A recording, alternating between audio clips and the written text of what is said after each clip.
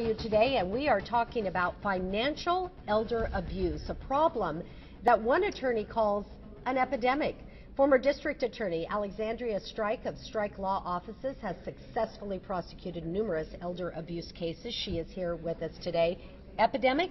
Well, Carolyn, it's been going on for years, and the estimates are that seniors are losing $2.9 billion every year to abuse. Who are they losing it to? Well, thieves. And primarily, you know, we see people who move in who are caregivers or they want to act as caregivers and they ask for gifts mm -hmm. or they name the wrong person in their estate planning to manage their finances and and you know, it's just too easy for some people to start justifying taking money that belongs to someone else. We're going to put this up on the screen. There actually is a targeted age group here, even a gender that you've shared with us.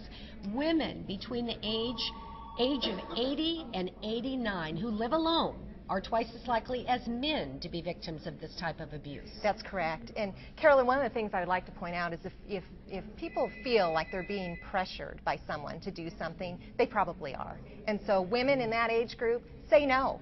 Say no. If someone's calling your house repeatedly, report it. If someone shows up at the door and says you need some kind of repair on the home, say no. Okay. And no. That's I know, right? That is no. Okay, you kind of outlined the problem a little bit for us. Okay. But now we want to get to preparing yourself mm -hmm. for something like this to happen. What what steps can people take? Well, one thing to think about is who do you trust? Who is in your life that you can trust to manage your finances? And if you don't know how your children are managing their finances, find out before you name them in a power of attorney to manage your own.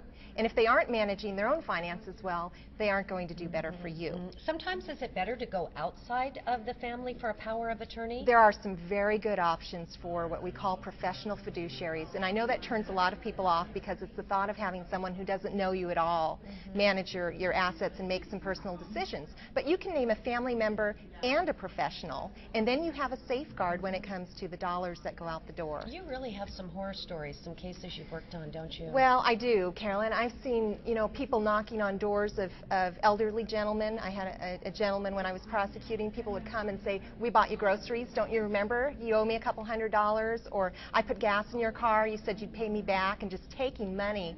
Um, I've seen people named in powers of attorney, mm -hmm. sons, again, who were stealing from a dad, and the dad was going to be evicted from a nursing home, the kids went through almost $2 million. Oh my, elderly abuse financially is what we're talking about here. If you'd like to know more, you can call mm -hmm. Alexandria at 345-6308. You can go to her website as well, and we've made it easy as we try to do around here. We've hot linked that website to ktvb.com. Thank you for bringing this to our attention. My pleasure. Mm -hmm. Back with more.